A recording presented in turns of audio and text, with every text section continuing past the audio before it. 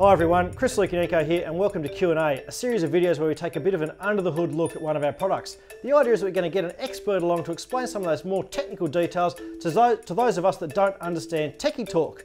Now today we've got our Senior Systems Architect, Doe Lutz along for the ride, or as we like to call him down here in Hobart, Joe with a D.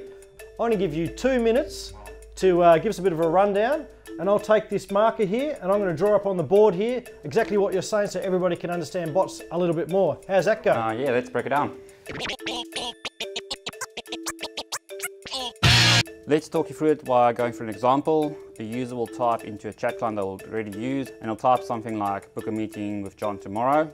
This message will go into the bot framework. The bot framework can take messages from multiple chat clients and sanitize it to something that our bot API will understand. Once we got the message in the bot API, the first thing we do is, is send it on to a natural language processor. Bot API is not intelligent. It has no I component at the moment.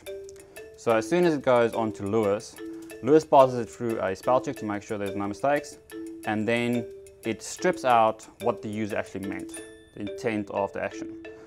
In this case, the user meant to book a meeting.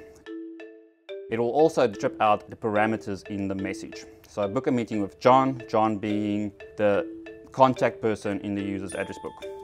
Once we have all this information, we can pass it on to the bot action logic. In this case, just a small snippet of code that calls up the Microsoft Graph API. The Microsoft Graph API can then talk to Office 365 and the user's Outlook calendar to book that meeting.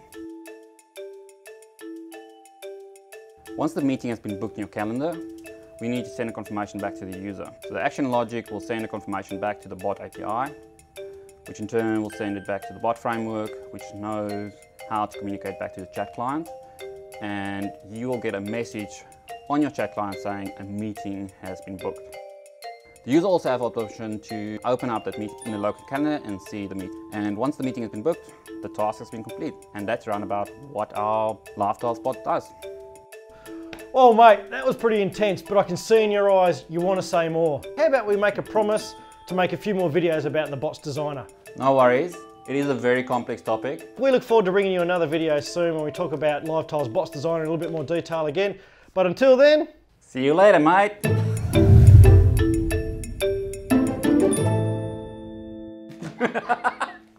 That's horrible.